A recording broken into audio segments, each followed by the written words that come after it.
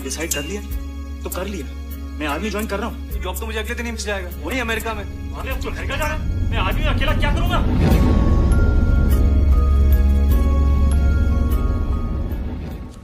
लाल सिंह चड्डा में आमिर खान और नागा चैतन्य कैसे करेंगे धमाका? क्या मशहूर होगी ये नई जोड़ी?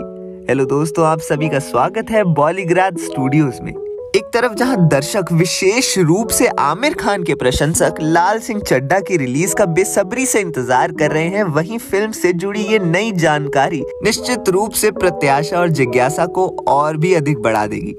सूत्रों की माने तो फ़िल्म का पहला कट देखने के बाद निर्माताओं ने आमिर खान और नागा चैतन्य की ऑन स्क्रीन जोड़ी और उनके अभिनय को इस हद तक पसंद किया है कि उन्होंने फ़िल्म में अभिनेताओं के बीच और सीन्स को शामिल करने का फैसला किया है। एक सूत्र ने बताया, फ़िल्म का पहला रश देखने के बाद, विशेष रूप से आमिर और नागा के दृश्यों को देखने के बाद, जिस तरह से वो सामने आए हैं, उससे निर्माता आश्चर्यचकित रह गए। सर्वसम्मति से फ़िल्म निर्माता अद्वैत चंदन और लेखक अतुल कुलकर्णी को लगता है कि आमिर और नागा की ऑन स्क्रीन केमिस्ट्री फ़िल्म की सबसे बड़ी यूएसपी में से एक है, और इसलिए उन्होंने म्यूचुअली अभिनेताओं के अधिक दृश्यों को शामिल करने का फैसला किया।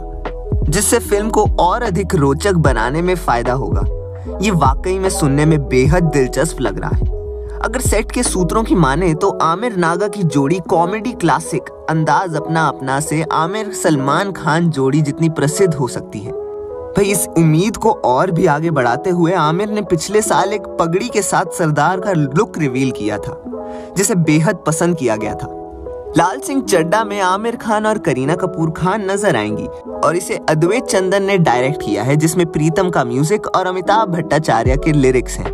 ये फ़िल्म वॉयकॉम 18 स्टूडियोज द्वारा प्रस्तुत की गई है। भारत भर में 100 से अधिक स्थानों पर फ़िल्म आई गई।